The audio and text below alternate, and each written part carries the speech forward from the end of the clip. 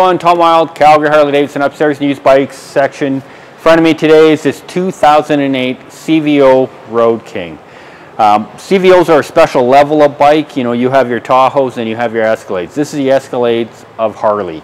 Uh, fully loaded from the factory. This one in particular has an added tour pack to it, quick detachable so you can remove it.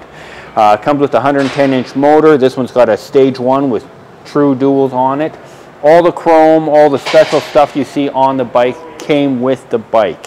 30,600 kilometers on the bike. Come down to Calgary Harley Davidson, check this bike out. It will not last long. Looks great on a floor, look even better in your garage.